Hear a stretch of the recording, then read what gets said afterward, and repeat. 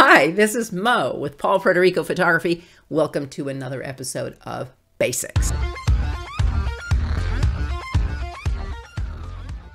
Today I want to talk about two very important factors when doing any type of photography, and that's perspective and composition. You'll see me in this video out in the field because I wanted to bring you along with me and show you what I see when I take photographs. Everybody sees something different, but that's what makes photography unique. Everybody has a phone, everybody has a camera, but it's perspective and composition that makes the difference. In this episode, where I'm taking you is on a trip I did with covered bridges. Now, I've been working on a book for about four years of covered bridges in the United States. There are more than you would think there are. And of course, a couple of years were kind of hampered by this weird thing called a uh, pandemic. That was it. That was it. So I brought you along to New Hampshire. And in New Hampshire, there are quite a few bridges. And you'll see me, you know, looking at the bridge from different aspects. You'll see me maybe, you know, go to one side and then I I decide mm, that's not really the shot. And then I go to another side and I've got to find where the sun is. So you know, composition and figuring out that perspective is really, really key. And what better way to show you than on a trip to covered bridges where you're really limited to where you can capture it from, yet getting a good perspective is really important to capturing the essence of these historical architectural wonders. In order to get a low shot, I'm going to have the camera down way low using the back screen to see where I'm shooting. It makes it much easier to actually get a low shot rather than shooting up like this and getting an awkward shot. You get a much better perspective. Remember, a lot of shooting uh, in places like this is about perspective.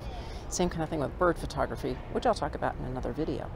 But perspective is everything. Right now, I'm standing in front of the Paul Revere statue and the Old North Church is in the background. So this makes for a good composition. Remember, composition is important. So once everybody is out of the way, I'll be able to take a shot with the statue and the Old North Church in the background. There we go. All right.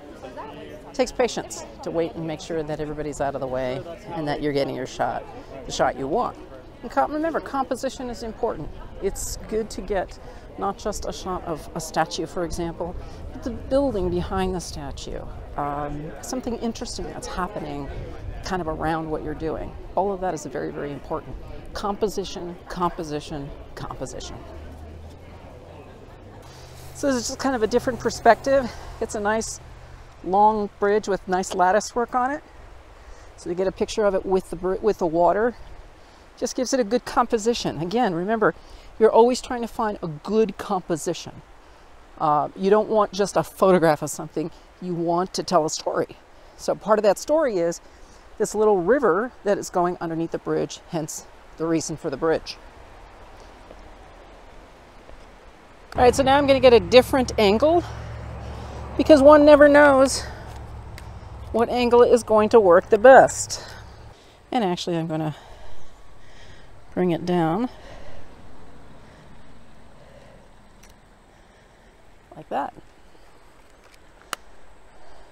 And then we'll do some from the front as well. So I went angled this uh, this way just to give a different perspective again um, for this bridge, different different view. This bridge was built in 1789 and it was refurbished in 1869. So yeah, still pretty darn old. This is a bridge where we can get several different angles. So again, thinking about composition, it's important to remember what angles you're looking for. And I see, even though there's a tree in front of it right here, it's still a really, really nice angle uh, to get a, a photograph of. We've actually got a really nice reflection of the bridge in the water. And that makes for a, a very nice, again, composition because you've got the reflection as well as the bridge itself. The, waters, the water in this particular river at this point seems to be very, very still. So it gives a nice reflection. All right, let's move on. So we have a much better view here because we've got the fall foliage as well as a beautiful shot of the bridge and a nice blue sky with some clouds in it. So it's really, it's, it's again about the composition. Uh, we can get rid of the power lines later in post-production.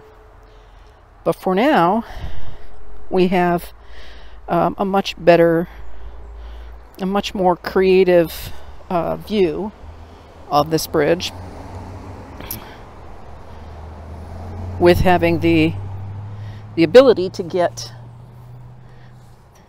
that tree in there as well. So this is King's Chapel. I'm going to set up a shot. I'm sitting on the corner, the opposite corner, because it's just a nicer view of the chapel itself. And it was built in the 1600s also. There's a lot of stuff here you can take photographs of. You can get really up close on a grave. You can take scenery of a grave. Either way, there's a lot of stuff to take uh, really some interesting photographs of.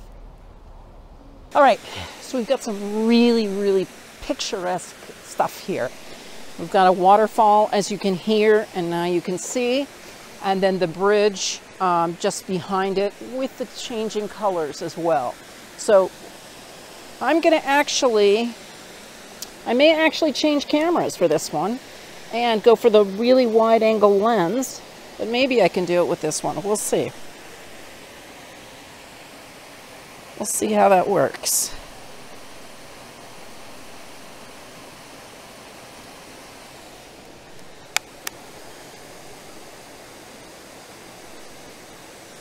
Uh, I'm going to get a wide angle lens, but first I'm going to do a couple more in here.